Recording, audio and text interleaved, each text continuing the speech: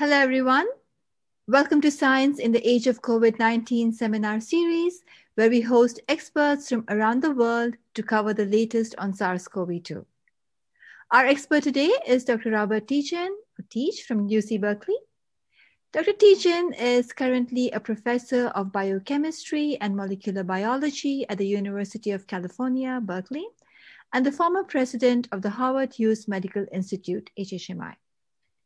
Dr. Tjian studies the biochemical aspects of gene regulation and over the years has made some fundamental contributions to the understanding of the process of eukaryotic transcription.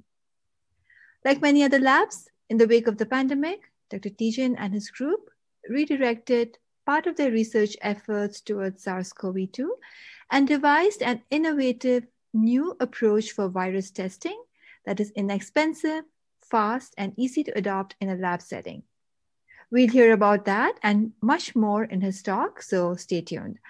And audience, uh, please, uh, a gentle reminder, at any time during the talk, you're more than welcome to post your questions in the Q&A box. At the end of the talk, we'll either call on you or we'll read out your questions for you. So thank you, Dr. Tjian. Uh, welcome, thanks for your time, and we look forward to your talk. Great. Sarada, thank you so much, and Loren as well uh, for uh, setting this thing up. I think it's uh, very, very useful. Um, I'm going to spend the next maybe 35 minutes or so telling you about some efforts that uh, students, postdocs, and undergrads in my lab have undertaken since March, uh, which seems like a long time ago already. Uh, and I'll go through some of the quite amazing things that these uh, students and, and, trainees have been doing in the lab, uh, largely motivated by their own interests.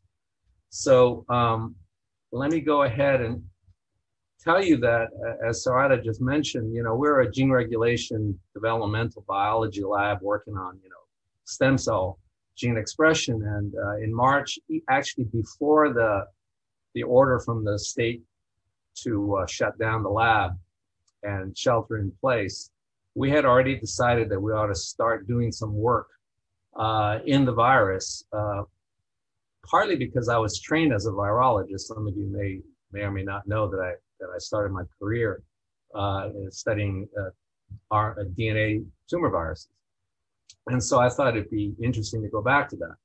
But really, the truth of the matter is that you know we had no choice. The university pretty much mandated that none of us could work on our normal research anymore. Uh, and I also felt rather um, sensitive about the fact that I didn't want to impose on my students and associates, graduates, to come back into lab during that first uh, shelter in place. And so I pretty much left it to them uh, how they wanted to deal with their time. And many of them stepped up and said, no, we, we really want to come in and work on campus, which you, you were allowed to do as long as you worked specifically on COVID-19 and uh, SARS-CoV-2. And so uh, that's how the next set of experiments I'm going to tell you about came about. So I really want to stress this point that I've been incredibly impressed and uh, gratified to see uh, students, postdocs, research associates, and even undergrads really step up entirely on their own. And each of the projects I'm going to tell you about this morning uh, were initiated by them uh, with literally no input from me uh, initially, uh, only encouragement and, of course, some funding. So here are the topics that uh, I'm going to cover very briefly today. The, the first one uh, was to establish actually a certified CLIA center for testing uh, COVID 19 on the Berkeley campus. So I want to remind you that the Berkeley campus, like many of our associated campuses around the country, had no medical school.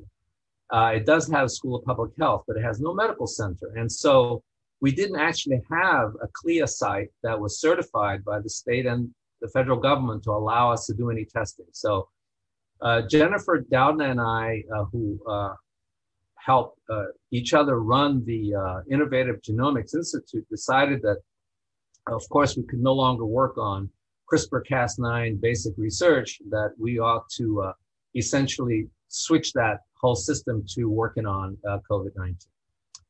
Uh, the other topic I'm going to tell you about is uh, as a result of our, our uh, work with IGI, we began to realize that there are issues with uh, PCR testing, particularly uh, supply chain issues, which I'll get back to a, a, little bit later. And so several of the postdocs and grad students and, and, and uh, uh, research associates decided that they ought to come up with a more convenient, easily, easily distributed, cheaper uh, PCR testing uh, system. And I'll show you all of the features of that.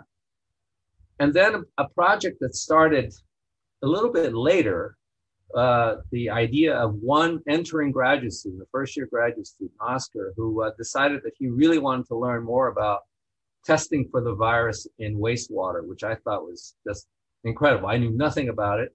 Uh, it turns out we did have a faculty member in the School of Public Health who was quite expert at detecting infectious agents in in the sewage, and so we began to work with with her. The other thing that we knew that we would eventually need would be some uh, serological uh, assays to determine whether people actually had been exposed to uh, the virus, or perhaps equally importantly, when we started to get vaccinated, to, to actually ascertain that the vaccination worked on the individuals uh, that were vaccinated to test for uh, serologic uh, markers.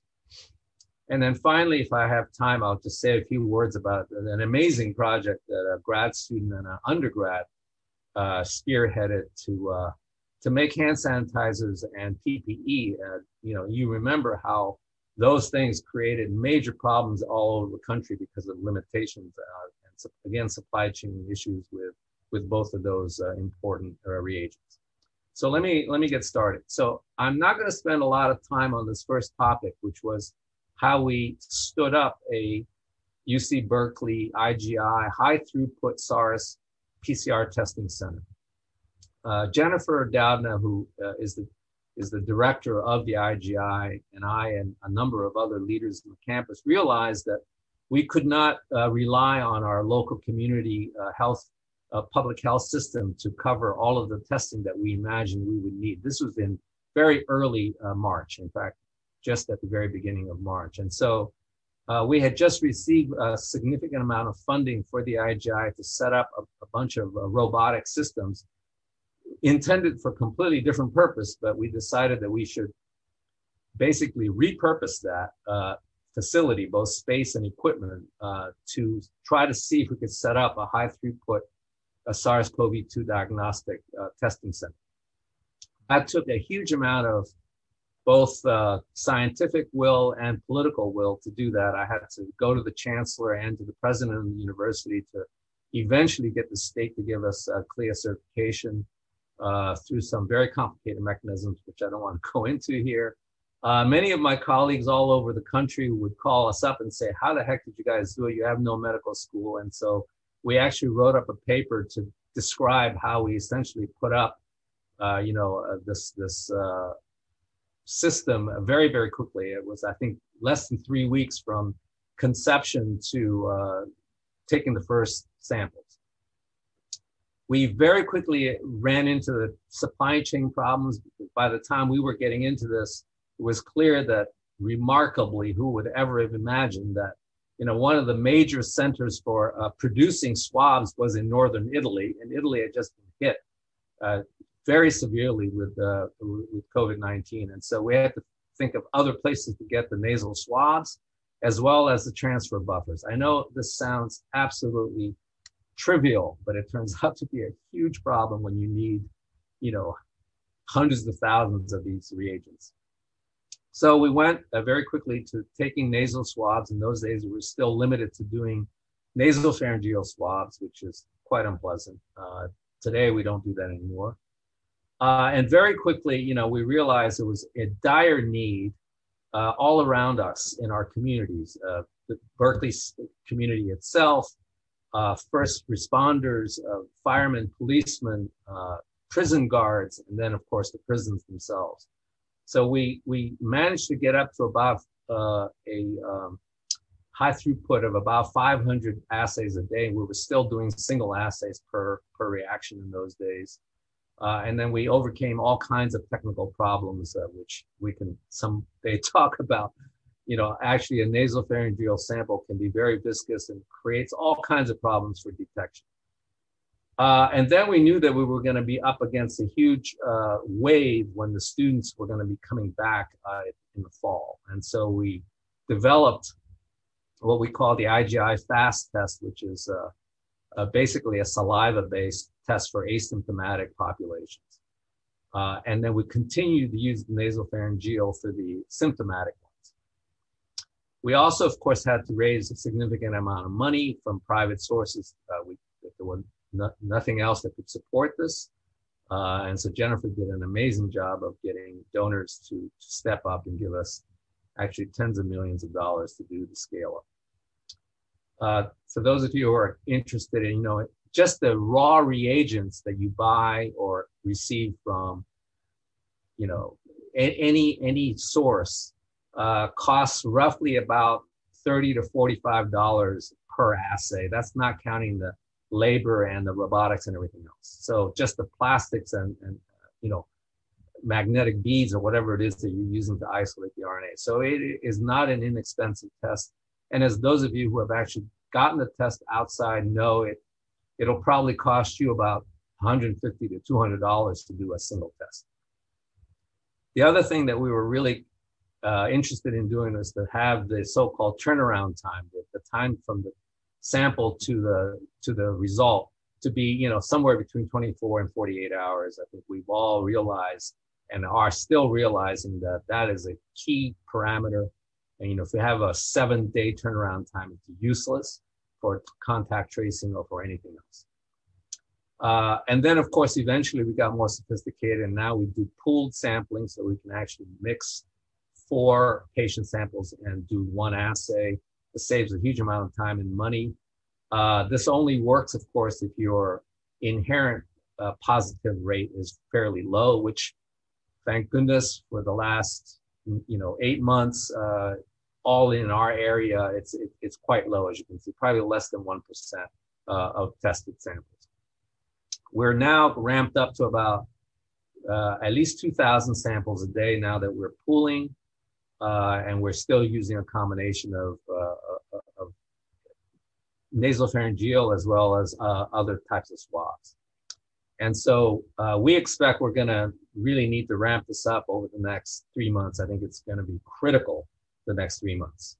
So it's been an interesting thing to set up a, a completely uh, clinical center in, in a non uh, medical school setting. And it's been quite an interesting lesson uh, that, that I've had, uh, that Jennifer and I have experienced. So that's all I'm going to say for, for, for, this part of it. Uh, if there are questions later, I'm happy to answer. So I'm going to move on to the next topic, which I already kind of uh, anticipated a little bit for you, which is very quickly when we started the high throughput screening, we realized that it wasn't just the test tube or the or the swabs that were becoming uh, limiting, but that quite possibly the reagents uh, that we use for doing the PCR. You know, who would have imagined we'd be running out of you know reverse transcriptase or Taq polymerase? Not to mention the fact that you know they're very very expensive. And sure enough, if we hadn't ordered massive amounts early on, we would have run into a supply chain issue. So, uh, just about the time that we started to put the CLIA Center up, uh, one of the postdocs in my lab, uh, Thomas Graham, who actually was part of the CLIA Center, realized that they were going to be running into potential uh, supply chain issues. Started working in our own lab here uh, in in in, uh, in our building, so that IGI is in the IGI building, uh, we started doing this in the Li Ka-shing building uh, as part of our sort of more support system, which which is to try to develop cheaper, uh, not supply chain limited. And so, uh, so what was the rationale here? So the, the rationale was simple. We don't want to run into a supply chain bottleneck for testing ourselves or anybody else uh, we wanted to set something up that would be open source immediately so that anybody uh, out there in the world who needed it could use it. Um, and we were particularly interested, and I should say Thomas was particularly interested in doing this in a way so that it would be cheap enough that even, you know, developing countries, which we knew were going to get hit, sooner or later. At that time, you know, Africa hadn't been hit very hard yet, but we knew it was coming.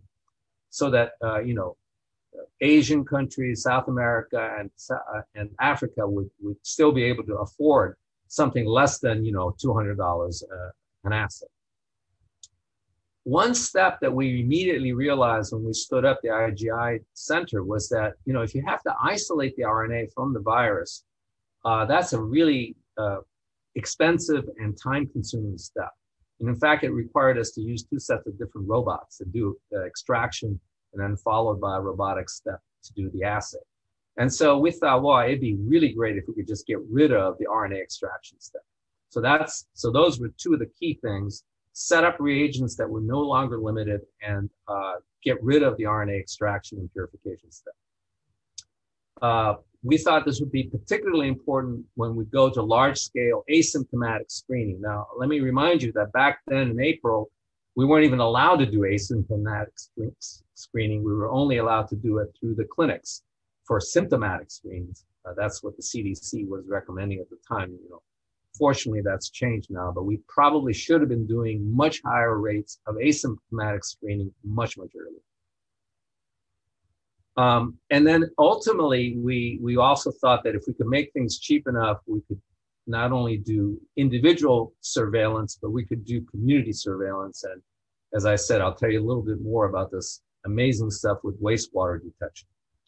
So that's what Thomas set out to do with Gina Dailey uh, and Claire Darzacq in the lab. This is just a quick slide to remind you what the PCR assay is. It's a fluorogenic assay. It's very simple. When, when you do the primer extension and uh, the, the uh, PCR reaction, uh, you displace this uh, self-quenched uh, Taq probe, which we can either use our own or we can use the TaqMan, which is expensive, and then it'll unquench and we can detect. And so the lower the CT value, the more RNA you're detecting. But this does require you to extract the RNA from the virus. Remember, the virus is encapsulated uh, in a protein coat. You got to uncoat that, and you got to do that without destroying the RNA, et cetera, et cetera, before you actually do the uh, cDNA uh, analysis. So that's what your typical RT-PCR looks like. Um, and so what Thomas did, and it took quite a lot of time to get all the reagents so that we could purify our own enzymes. This is very important. Uh, and all make all of our own reagents so that very, very little other than the oligonucleotides was being bought. And so Thomas called this the basic economical amplification reaction mix or bear mix for obviously for the Berkeley Bears. Uh, we made our own uh, MLV reverse transcriptase, which was no longer under patent so that the, you know people couldn't come after you for using it freely. We could make, you know, in uh, 10 liters of bacteria, we could make, you know, a million assays worth of uh, reverse transcriptase. Same thing for Taq polymerase. These are two enzymes that are extremely easy to make in large scale, which my lab could do in fermenters. Uh, you can see that one liter of bacteria gives you 50,000 reactions. So we lowered the cost almost 100 fold. I think it is close to 100 fold uh, at this point because we kept shaving down the cost. I think at this point, the most costly part of the reaction is the plastic tube that you collect the nasopharyngeal uh, samples. This is just a little bit of raw data to show you that the, the assay is very uh, sensitive. Uh, we're detecting somewhere between 10 and probably 30 uh, RNAs per sample. Uh, this is using the standard primers that were approved by the CDC. Here's a nice example of some real uh, samples from uh, hospitals nearby, uh, Alta Bates and various other hospitals. One of the amazing things about our experience was that the science was easy. The hardest thing was to actually get patient samples from Kaiser Permanente or you know Alta Bates or UCSF because there are all kinds of rules about how you share a, sam- a patient samples, human patient samples. And because uh, until we were uh, a CLIA center, uh, you couldn't do that. And of course, it's a catch 22. You can't become a CLIA center without getting these samples. So I had to do a lot of uh, running around to try to get that. Eventually, it all worked. You can see that our assays are almost as good as the very, very best sensitive assays, which the IGI was uh, using and paying about $45 an assay for, and ours is probably less than a dollar. Uh, the other thing we realize is that, you know, if you don't have a nice, fancy qPCR machine, you're you're not going to get those nice curves, CT curves. But really, in a third world country, you're not likely to have those machines. So we wanted to have an alternative way for you to at least see a plus minus signal uh, when you do this uh, PCR assay. And here's a nice fluorescence imaging assay that you can do in a couple of different modes. As long as you have a, you know, a UV box, uh, you can detect it. So that, that was really, really useful using exactly the same reagents as you would for the qPCR. So now comes the more tricky part, which is can we get rid of the RNA extraction step? Uh, and uh, maybe it'll come out in the questions, but it's like, why is that so complicated? Well, it's because of the way you have to collect the sample and, and uh, what the sample, what that swab sits into in, in so-called the transfer buffer, because you got to transfer it from wherever the patient got the sample taken to the laboratory. And that's actually could take a day sometimes. Uh, and as you know, many of you probably have experienced situations where if you went and took took the, the tests from LabCorp or Quest, it could take six or seven days. And so we had to make sure because because this is an RNA virus and RNA is extremely labile. Once you uncode it from the protein coat, uh, how to do this in a way that would not compromise the integrity of the RNA, so that your sensitivity didn't go down. But at the same time, uh, you didn't put in nasty reagents which would kill your RNA, uh, your uh, reverse transcriptase and your Taq polymerase. So that that was the problem, and eventually uh, Thomas figured it out. Uh, and again, I'm not going into details. This is actually now uh, up uh, will be published, but it's already in uh, Archives. If you want to look at the details how we got around those problems, you can look at that. But here's the point is that we eventually, after about four months of hard work on the part of the, team, they, they, they came up with a procedure that really solved a lot of the issues of how you keep the sample safe uh, from being degraded, but at the same time, no longer infectious. Uh, and so with this somewhat less uh, sensitive, and it is less sensitive by probably one, uh, two CT values, uh, we could again show that uh, it, it's actually very, very, very good. Uh, probably as good as most assays that are out there, and probably better than than many that are out there. But the important thing is it is extremely fast because you completely skip the, the RNA extraction step, which is probably the longest part of the reaction. It's way, way cheaper. And of course, it's easier if you, if you don't have fancy robots. And uh, so far, you know, it's been uh, tested and, and, is being used in a lot of places. We can't even keep track of all the places it's been used. Uh, we've made sort of large amounts of sort of uh, uh, test kits for people to to uh, test for themselves. We send it all over the world, so people have something to measure themselves against before they make their own reagents. This does require that they, you know, purify the enzymes, make make make the buffer, and so forth. Uh, this can be used for, uh, of course, for swabs, uh, and most importantly, without RNA purification. We haven't fully shown that it works quite as well with saliva, although in the laboratory it does work pretty well with saliva. Uh, and if people are interested in why is saliva so complicated, it, it is very complicated. Um, the level of detection, as I said, is somewhere between 10 and 30 viral messenger RNA, uh, viral RNAs. Um, and it is of course almost a hundredfold less uh, expensive. And uh, we hope that you know more and more people will be using this. Uh, we hope that they let us know that they are using it. So that that's out the door, and the publication is on on the way. So now I'm going to go to the third topic, which for my own purposes is probably one of the most intriguing. Uh, I hadn't really thought about you know that you could test do surveillance testing uh, community wide so up to that point, we had mainly been doing surveillance testing in, you know, in the Oakland uh, region, the Richmond region, San Francisco, Berkeley, Albany, and so forth, just by individual tests, which is extremely expensive, although, you know, obviously quite accurate. And then there were a couple of papers that came out suggesting that, you know, in the infectious diseases world, people have been doing wastewater testing of all kinds of infectious agents for, for decades. Uh, and so uh, one of my graduate students who had just entered the lab, Oscar Whitney, decided that he'd look into this. Um, and very quickly he realized that there were some serious, um, let's say, inefficiencies in the processes that are uh, generally used for such wastewater detection. So one of the things that he immediately figured out was that most wastewater detection protocols are designed for you to isolate the intact infectious agent, whether it's a bacteria or a virus, not the nucleic acid, uh, you know, chromosome. And so he realized that very quickly that you know you could do this, but the technology wasn't actually there. You could think it through. And what he realized was the sensitivity, especially for a very labile uh, genome such as the RNA of SARS-CoV-2 was, was, was really terrible. And so he decided he needed to develop something new so that it could be used to monitor communities at a fairly sensitive level. And remember, we were still getting, you know, less than a few percent positives out there. So, you know, was, the detection had to be sensitive.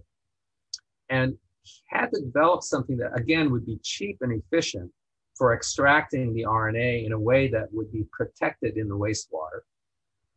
And yet, you know, you can't be slopping the stuff around and, have infectious agents.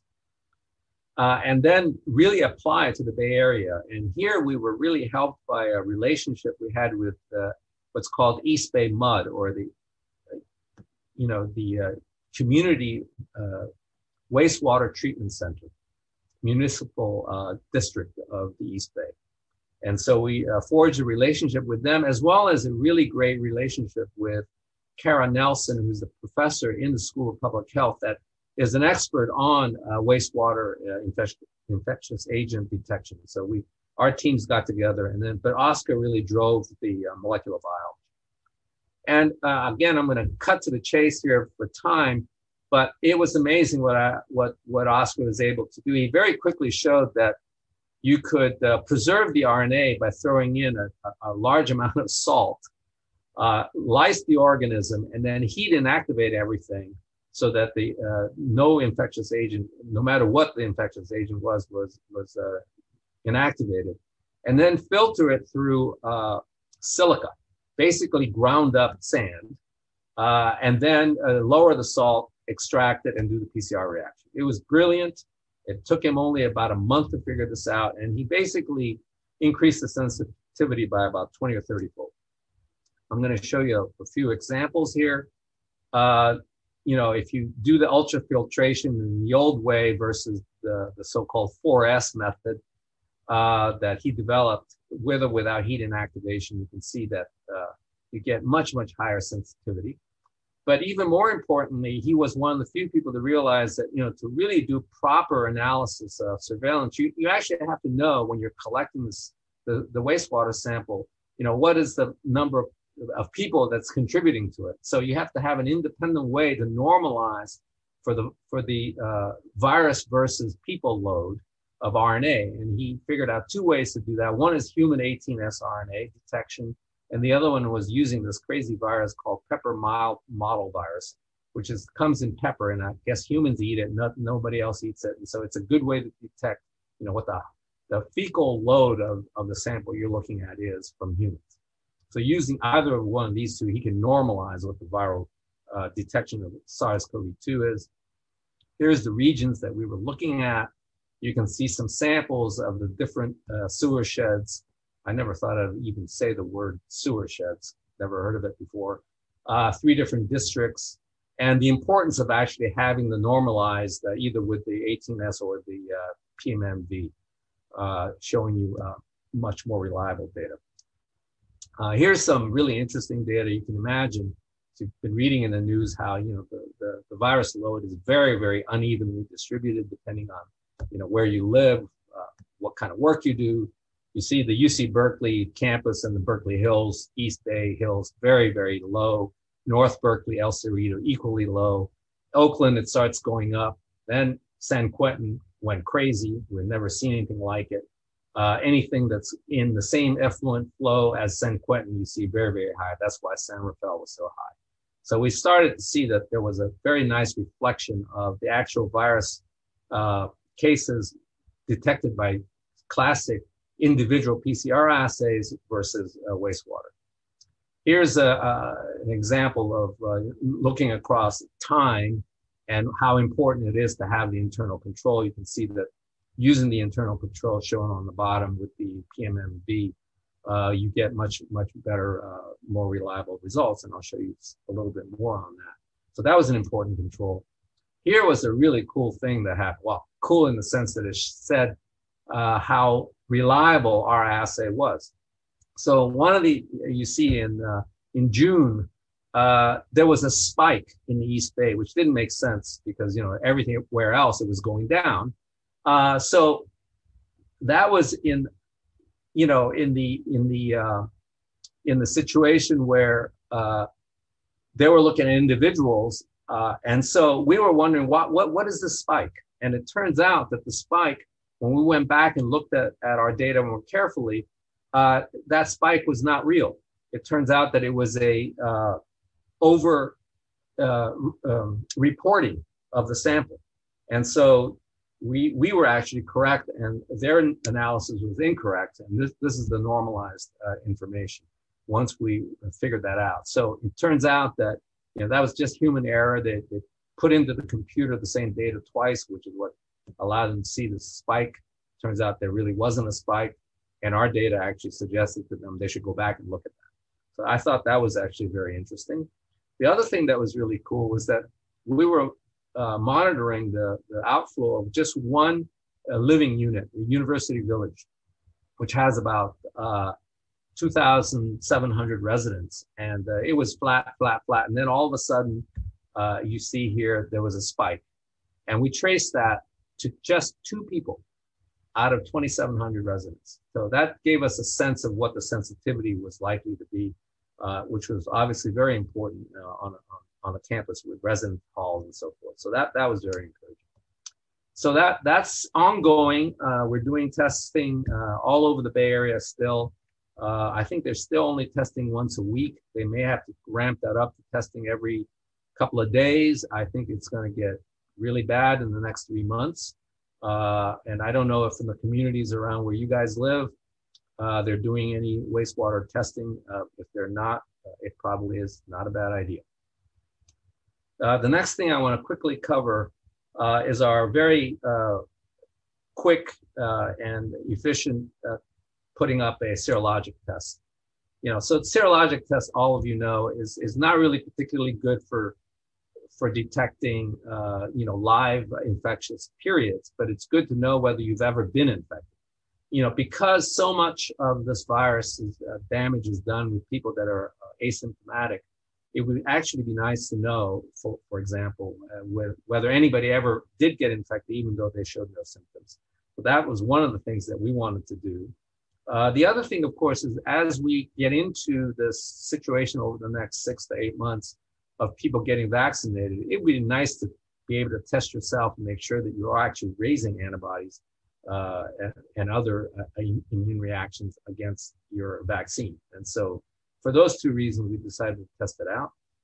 Also, you may remember early on in this business, uh, people were a little uh, skeptical about the quality and sensitivity of the uh, serologic tests, and that's because they were using really crappy antigens to do the tests early in the early days because they were trying to make money on the pests. Uh, we followed the, the, the lead from uh, uh, published results, which suggested that certain antigens were much more reliable than others. And so uh, Megan Espen in the lab, graduate student, decided to take this on all by herself. So uh, we were hoping to develop uh, not only just a straightforward sensitive serologic test, but one that we could do using finger prick blood draw rather than uh, you know intravenous blood draw because obviously we're not a clinical center uh, whereas you know a finger prick you can do it in the lab and so the idea here is to try to go and find what antigen uh, is being made by the virus the most sensitive for, for detecting uh, uh, antibodies uh, in in your bloodstream uh, if you've been exposed uh, to the virus. Uh, and so we wanted a system that was quick, quantitative, and sensitive. Um, and the idea is very simple. You, again, because we're protein biochemists, we didn't have much trouble purifying, expressing and purifying basically any antigen that this virus uh, is making. We purified two different proteins. One was called the RBD, which is the receptor binding domain, which is what a lot of assays uh, use out there in the, in the uh, public domain. Uh, we also use the spike protein, which is the full length spike protein for coronavirus. Uh, that's much harder to purify, but the protein is, uh, gives you a much more sensitive assay by about a factor of three or so. And so we, we tested both of them out. Uh, we also did our tests in a much better way. We don't just do a plus minus type of assay. We do a, a, a dilution series and gives you a nice uh, concentration curve. Again, it's a it's a it's a simple uh, colorimetric test. Uh, here's what theoretically it looks like. You do a serial dilution. You have a bunch of negative controls. Again, we needed to get sera from patients to validate the assay. Uh, it took me quite a while to finally get patients to uh, to send me their samples, uh, or I mean the hospitals. So eventually, Megan was able to show uh, a very very sensitive assay here, uh, where we could dilute down to very very low concentrations. Uh, here's a, a, reciprocal dilution uh, plot you can see.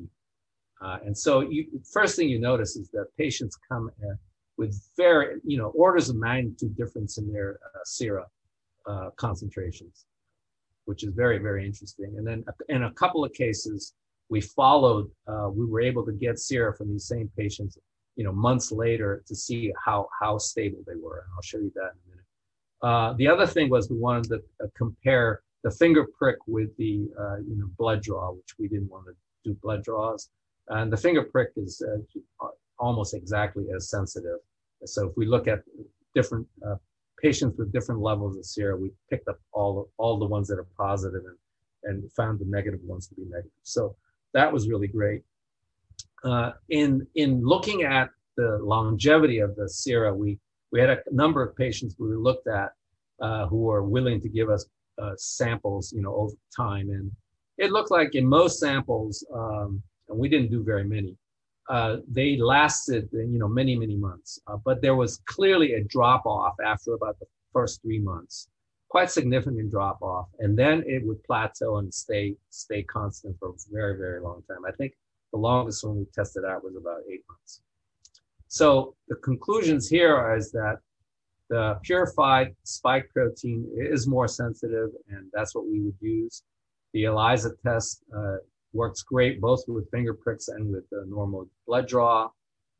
Uh, I think the antibody uh, levels are actually quite stable for long periods of time. This is really good news for the uh, vaccination protocols that are coming in. Great to hear that, you know, AstraZeneca's antibodies, if you give it uh, two shots, is probably going to be better than 90%, just like like the Moderna uh, and the Pfizer ones. And I think most people are going to have, you know, pretty good levels of uh, protection for, I'm guessing, you know, between a, a year or so. Uh, and so I think things are looking up, but it's going to be probably another six to eight months before most of the population gets vaccinated. And the last thing I just want to say very, very quickly, since I've pretty much run out of time that I want to talk, is that uh, quite inspirational work by a grad student, Abrar Abidi and Yvonne Howe, an undergrad. Uh, very early on, they realized that the underserved communities in East Oakland, uh, the Mission District, and Richmond uh, were having difficulties getting uh, hand sanitizers and PPE. They also got a, a request from uh, the four corners of, in the southwest of the reservation Navajo reservation, which was in dire need of, of uh, uh, particularly of hand sanitizers since they are very limited in water supplies. And so uh, Brara and Yvonne just spearheaded this amazing production of, you know, uh, CDC and WHO approved very effective hand lotion, sanitizing lotions. And you can see that they eventually got 11 research labs on the Berkeley campus to participate with grad students and postdocs. They have over 100 active volunteers around the Bay Area to distribute these things. uh, here Yvonne and Abrar are standing in front of a couple of, uh, I think it was a hundred gallons that they sent, or maybe more than a hundred gallons they sent to uh, to the Navajo reservation. They've partnered with many, many organizations to distribute it. Uh, now I think they're into over 5,000 gallons uh, of the sanitizer, uh, probably 10,000 reusable face masks. I made the slide some time ago. They've made lots of disinfectant wipes and so on and so forth. And we got some funding from the Cheryl and Kersey Foundation to uh, to do this work. Uh, and here's just uh, all the places that they've been uh, taking this to. Uh, it's it's now in the Bay Area. The stuff is called liquid gold uh, for all the people who need it, and they they have not been able to stop making it, even though we are no longer in lockdown. And Abrar is back doing his normal research on gene expression, but he keeps the operation going, uh, and he's still providing hundreds of gallons a, a week. Uh, with that, I'm going to stop. Here are the pictures of these amazing people who basically just volunteered their time. So that's Tom Graham, Thomas Graham uh, up at the top with Gina Daly and, and, and uh, Claire Darzac who did the uh, bear mix.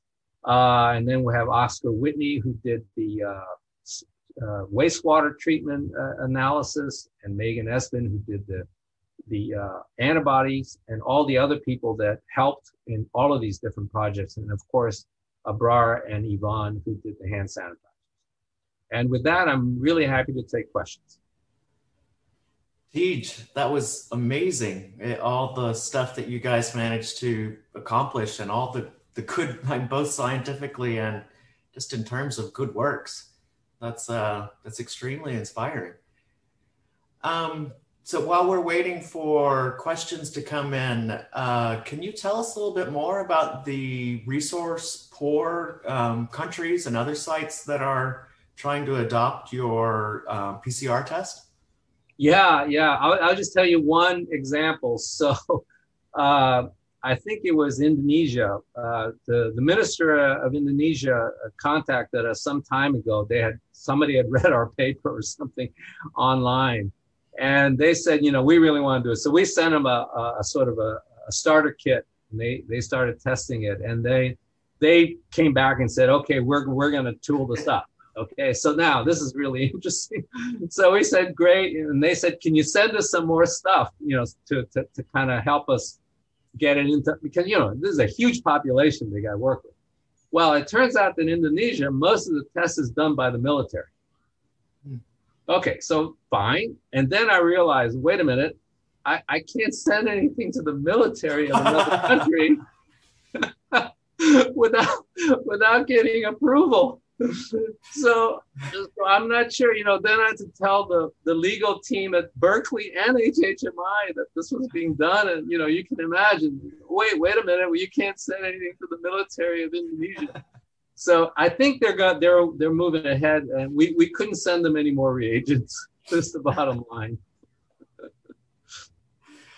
um, so yeah, on a related note, I want to ask you more about um, bear mix um, I mean, can you guys really scale this up? I mean, because I imagine, I mean, we all know that this winter is going to be gruesome.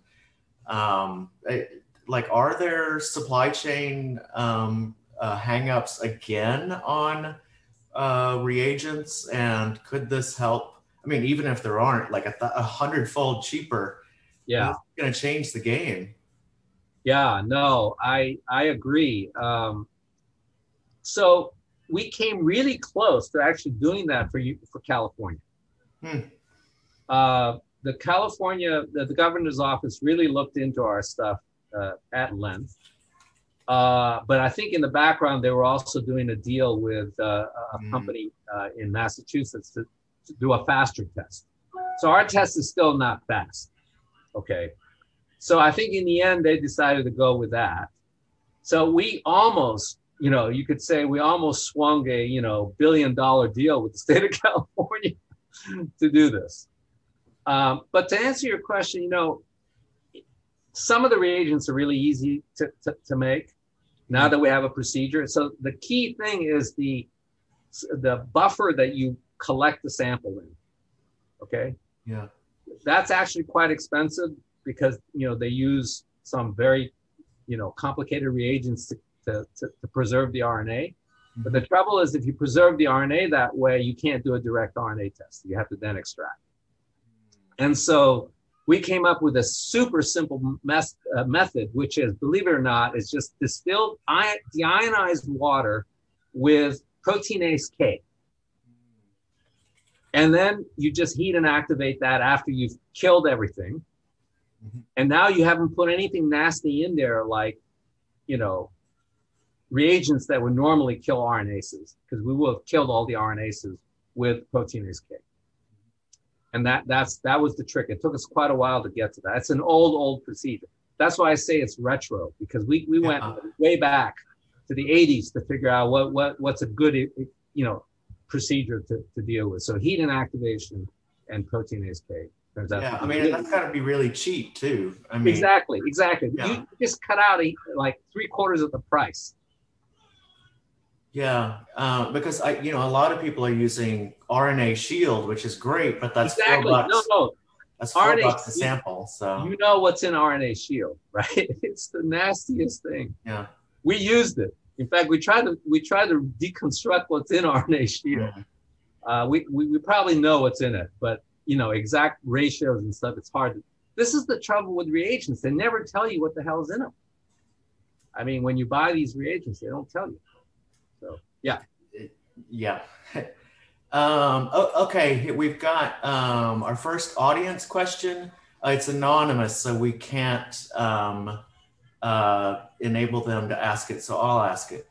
Um, Okay. A basic question: If someone has a positive antibody test, how do we know that that indicates the person had SARS-CoV-2 versus infection with another coronavirus? yeah. So that's really good question. Um, the uh, the assays that we developed were based on Florian Kramer's work on SARS-CoV-2, and he went out of his way to make sure that the antigens he was using could discriminate between SARS-CoV-2 and other SARS-related viruses. So in our assay, I would say we're pretty sure. However, Yeah. there are many, many serologic assays out there that probably are not using the full length spike protein with you know the appropriate modifications in the amino acids to make sure that you can discriminate. So so it, it again depends on the assay. And a lot of times when you do a test, they don't even tell you which antigen they're using. So it's it's it's yeah, it, it could be a problem. Yeah. Uh, we've got our next audience question. Um, Sarada, can you turn on Tim Harris? Yes. Uh, Tim, uh, would you please ask your question? Unmute yourself, Tim. Now I have an okay. There we go. Yeah, I Um, can hear you. So, Tej, um, you know that that um, spectacular capability, but from the standpoint of someone who doesn't do molecular biology, it sounds like growing bacteria and isolating a reverse transcriptase is still really hard. Is do you expect third world people to learn how to do that? Is it just not hard as us novices think it is? Yeah, it's pretty easy because these are all tagged molecules, and purifying Taq polymerase is like falling off a log. you, you make the extract and you boil it and spin it out. So yeah, no, it's it's it's it's literally like a one-step purification. And how Um, about yes. the MLV purification? Is that similarly easy? That's a tag. Yeah, that's the tag version. Oh, okay.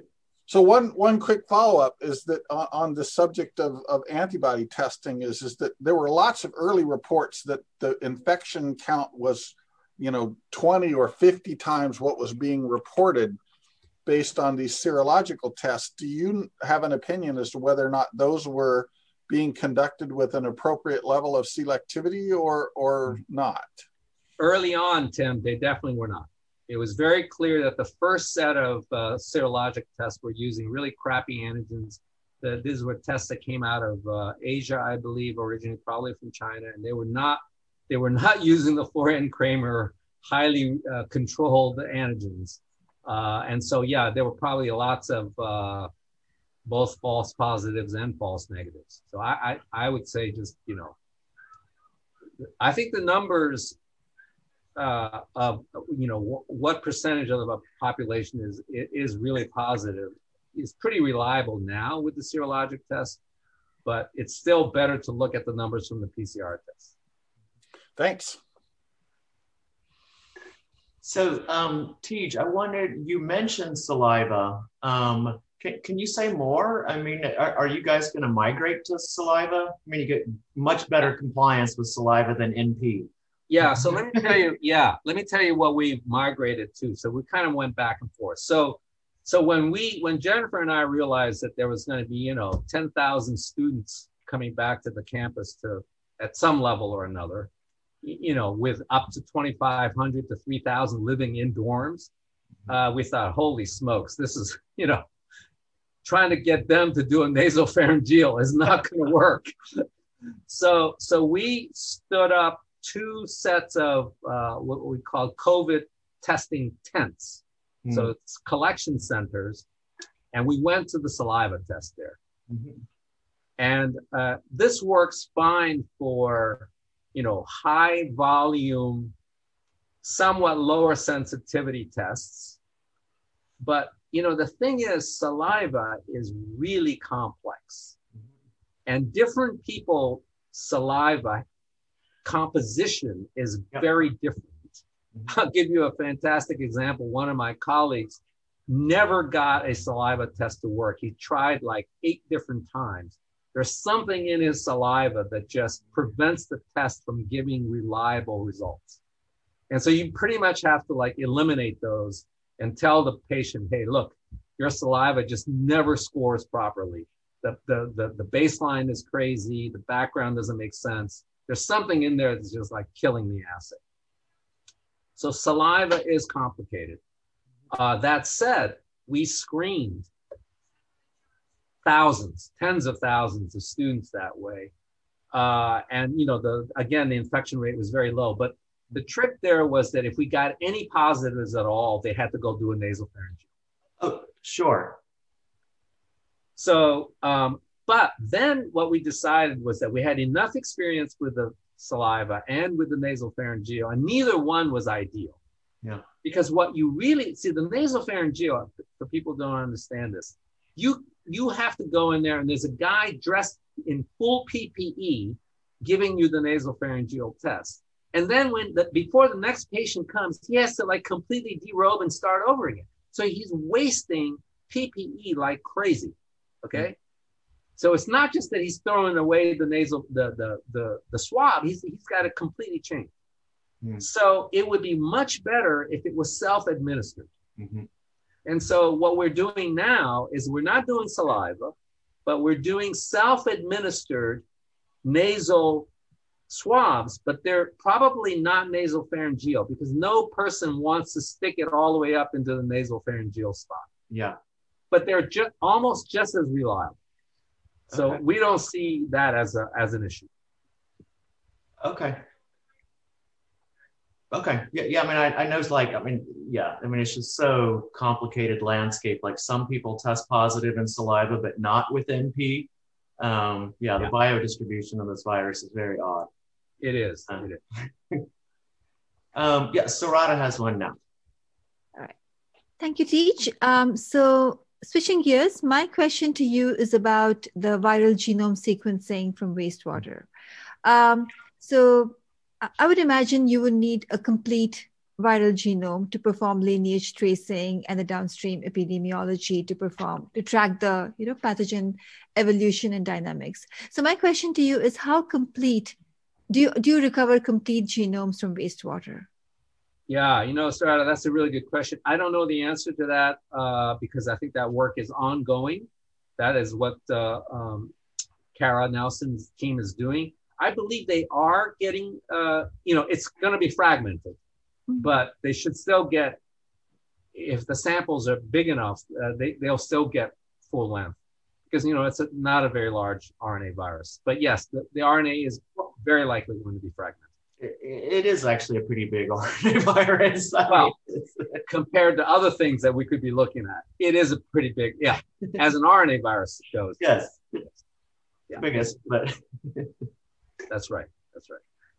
Great. And as a follow up question, uh, I mean, I understand this is an ongoing work, but have you spotted, uh, have you identified variants, uh, genomic variants? Uh, and if so, how well do they correlate with, uh, you know, the dynamics that you've noticed with clinical samples? You know, I think that work is probably further along uh, over in UCSF because I believe the BioHub has been doing a pretty extensive genome sequencing, uh, not from wastewater, but from from individual samples. They've collected, you know, thousands of samples. So Mhm. I, I believe that they're doing much better tracing uh, of, of, you know, evolutionary uh, changes and, uh, you know, whatever uh, changes in the uh, sequences that are happening. And I, I have not been following that. I have to admit. Mhm. Maybe somebody else knows more about that, but I, I, I, I don't. yeah. And Tej, we had a um, an audience question similar to that. Um, can you tell us a bit about the mechanics of the the logistics of the wastewater testing? Like, do they do the extraction over there, or do they mail you some poop, or what? Yeah, no, no, okay, yeah, yeah, yeah. Fortunately, they don't mail me the poop. No. Uh, what happens is, actually, it's interesting. So we eh, we had to work it out because we we did not want to have some sample come out of East Bay Mud's laboratory that was still infectious. Yeah. And I don't just mean infectious for COVID nineteen. I mean, Right. it who the heck knows is it? Okay. So this is why we we actually ordered a you know a very sophisticated water bath system and we installed it over in their laboratory. So Mhm. after the by the way the sample is is pretty well filtered. If, if i showed you the sample it doesn't look like poop in your normal way. It's it's pretty well treated. It's treated wastewater okay, Okay. Uh, uh, so it, it, it, it's still pretty nasty uh, and so it gets it, we, we we we deactivate it there Hmm. but but we use our you know we give them our our sample materials to deactivate and so we know we we don't bring any of that stuff into our own laboratory but we're the ones who are then putting it through the silica and doing all that Yeah. Huh, I wonder if the does the do you know if the wastewater treatment um you know does that fragment the the RNA genome, I'm sure it does i'm sure at some level it does um, which is probably why most of the uh, uh, you know normal procedures were trying to purify the Yeah. virus particles rather than the rna yeah. it has its own problems. For this particular virus, it looks like RNA detection was much better. Yeah. Wow. Okay. Yeah, def- definitely more than I thought I thought I would ever learn about that sort of stuff. Yeah, yeah. No, the joke, the joke in the lab is that you know my lab is finally working on shit science. um Just Yeah, one you- question, Tej. Uh, sorry, Lauren, do you have one? no, no, go ahead. Go ahead. So when you do metagenomics, uh, I'm sure you also you basically sequence the whole whole genome, uh, sequence whatever is there in the wastewater. So I would imagine you would also see probably some patterns of some co-infection with other viruses. Yeah. So my question to you is, can any of these be used as a predictor for you know? You know, I think that that's something that I think that um, other people. I think the people up in Seattle have been doing that. Mhm. Because you know if you're going to be sequencing you're going to be sequencing lots of stuff you might as well look at what co-infections there are.